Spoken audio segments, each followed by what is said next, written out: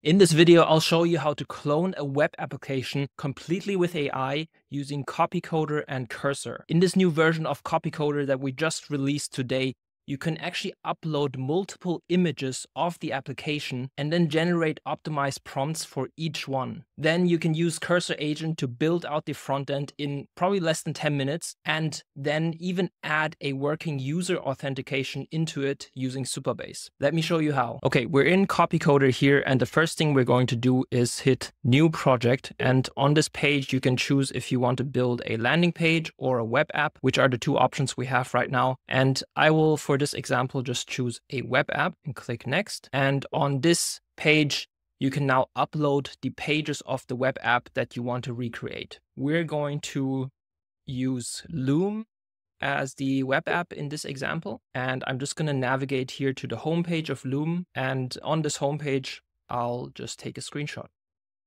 And since this is a main page, I will be dragging this in here. And what it does now is it analyzes the additional pages in this application and will extract these now.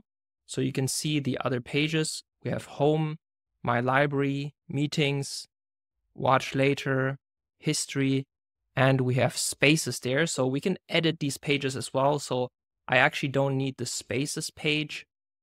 And we do want to add the notifications page, which I think it missed. And we're also going to add a settings page. Okay, now what I can do is I will select the My Library page, go into the real My Library page of Loom here and take a screenshot of that.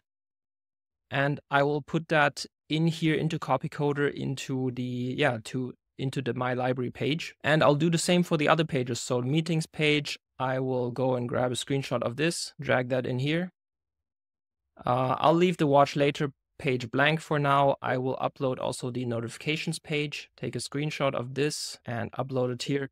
And for the other ones, I'll actually just say use AI to generate them. And this means that uh, we're going to use AI to, based on the context of this application, the AI is going to make a good guess of how this page should look like and what components should be inside of this page. Once we have that, we can click generate pages and it will start generating the prompts for these pages. Okay, the prompts are ready, as you can see here. So we have a way to set up these prompts and download them directly into Cursor, which I'll show you in a bit. Here you can also see all of the prompts individually. So if we click open this main page here, we can actually see how much detail there is in this prompt for the main page. It has, you know, all of the components, the planning for the development, uh, project structure, key features. So there's quite a lot of stuff in this prompt here. And it's the same for the other pages. And yeah, we're going to be just using this CLI command here, copy that, because that's actually the easiest way to get this now into Cursor to develop this application. I'm going to switch here into Cursor. I have an empty project here opened, and I'll open up the terminal and just paste this CLI command and hit enter. And so what this did is it actually downloaded all of these prompts that you could see just now into my project here. And I can go and click through them and just verify that everything is there. And additionally, you'll see these two setup files. So one is like the regular setup file, which we'll be using to set up the Next.js project. And the other one is the auth setup file, which we'll be using later on. So now we're going to head here into the chat, make sure we have agent and Claude 3.5 Sonnet selected, and we can just hit run setup. And so now this setup file will run through. We can just accept these terminal commands and then it will run through and set up the Next.js project for you. And you can think of the Next.js project basically as a skeleton, which we will be using to build on top of. Okay, it's set up. You can see here that all the file files are there. And now we can continue with the remaining um, pages and we're going to start with the main page here and just say run main page. Again, just accept and it will start building out the main page for us. Okay, the main page has finished and with this one prompt, we can now check we've generated uh, these pages here as well as these components and we can accept all and then we're just gonna run this. and check it out. All right, there we go. So we have the homepage ready. It looks pretty good already.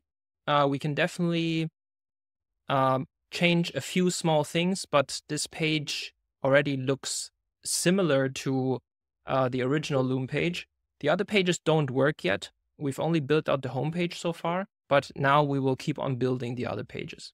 So let's switch back into cursor and now I will build out the my library page. So we just type run my library and it's it's really easy. You have all of these prompts here. All you need to do is tag them and just say run. Okay, cool. My library page is done. We hit accept all and now we can build the next page, which is the meetings page. Cool. Meetings page done.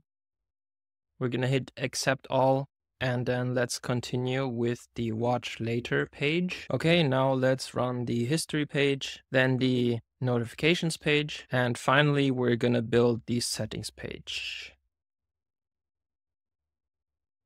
Okay, and it's done. So let's check out the application now. So we have the home page here. We have the My Library page, the meetings page, watch later, history, notifications, and the settings page. So this is amazing. We have everything here. And just by running the prompts, we have a very rich front end with all of the pages already filled out. And obviously, if you look at the original application, it's not a pixel perfect match, and that's also not the point of it. We want to help you get started really quickly.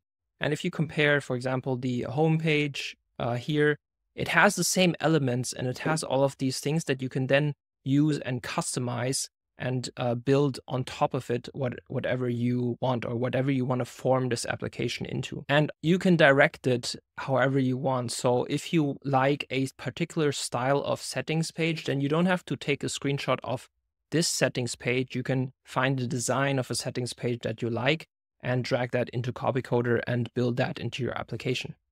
Okay, but building the front end is actually just the first part.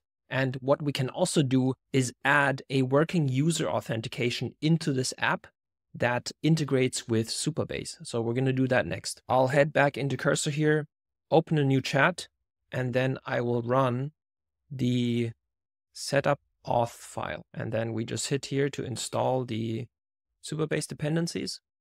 So it will set up a middleware here to protect the pages. And now it's creating the sign-in page. Okay, it's done with the auth implementation. It set up sign up, sign in pages and reset, reset password pages. And now all we need to do is we need to go and look at the env local file. And in here, let's accept all first. So in here, we have to place our Supabase project URL and anon key for this to work. So let's go into Supabase here. We open the dashboard and create a new project. Give it a name. Okay, once the project is created, we can scroll down here to get the URL and anon key and copy those over. All right, once they're in here, it's good to restart the server. And what we'll also want to do is to just go here into the settings of the email and we can just turn off confirmation and secure email exchange for now just to keep it simple so that we can test it easily. Okay, now let's open up the application. There we go. We have a sign-in page. And let's go into the sign-up page to create a new user. Okay, we can see the text is a bit light, but we can fix that later. All right, so signed up with a user. Let's check if the user is actually here. Refresh this. And boom, there we go. The user has been created in Supabase. And now let's just verify if the sign-in works. Sign in. And boom, there we go. We're signed into this application. There's a little sign out button here. We can view all of the pages as the signed in user. Cool. All right, we have a working front end application that we can obviously enrich and add more on top of it. We have a working Supabase authentication with a Supabase project integrated, which means we can now easily build out the backend part of this application. And so you saw how easy it is to basically go from this reference application that we used here, take some screenshots, put them into CopyCoder, and get these optimized prompts to build out this application extremely fast. And it really just took us a couple of minutes to get to this state. And from here, we can continue building and build out a production ready app much faster than we could without these tools. Hope you enjoyed this. Thanks so much for watching. I'll see you in the next video.